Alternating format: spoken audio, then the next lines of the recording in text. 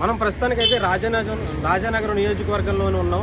ఇక్కడ జనసేన పార్టీ పోటీ చేస్తుందని మొన్న రిపబ్లిక్ డే సందర్భంగా జనసేన పార్టీ అధినేత పవన్ కళ్యాణ్ గారు అయితే పార్టీ ఆఫీసు మంగళగిరి కార్యాలయంగా ఆయన అయితే ప్రకటించడం జరిగింది. అయితే దానికి సంబంధించి ఇక్కడ బలంగా వర్క్ చేసినటువంటి బత్తుల బలరామకృష్ణ గారు ఇక్కడి నుంచి ఆయనే పోటీ చేసే అవకాశం ఉన్నట్టుగా తెలుస్తుంది. ఎందుకంటే ఆయన ఒక్కడు తప్ప అంత బలంగా ఇక్కడ జనసేన పార్టీకి సంబంధించి ఎవరు బలమైన నాయకులు లేరు.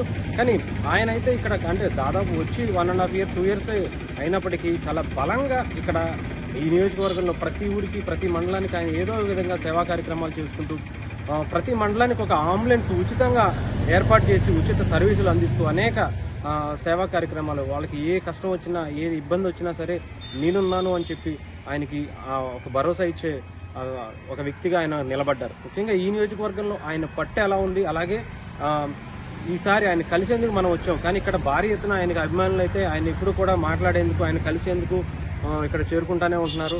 అంటే ఆయన పొద్దు నుంచి సాయంత్రం వరకు కూడా ఎవరో ఒకరితో మాట్లాడడం కావచ్చు బయట పర్యటనలు కావచ్చు ఇవి కావచ్చు అన్నీ చూసుకుంటారు అంటే ఒక బలమైన నాయకుడు ఈసారి రాజానగరం నియోజకవర్గం నుంచి జనసేన పార్టీ తరఫున పోటీ చేసే అవకాశం అయితే కనిపిస్తుంది. అది కూడా బత్తుల బలరామకృష్ణ గారే పోటీ చేస్తారని దాదాపు ఖరారైనండి ఖరారైనట అని చెప్పుకోవచ్చు. ఎందుకంటే బత్తుల బలరామకృష్ణ గారి గురించి ఆల్రెడీ పవన్ కళ్యాణ్ గారికి బాగా తెలుసు. ఆయనకి తప్ప ఇక్కడ వేరే వారికి సీట్ ఇచ్చే అవకాశమే లేదు.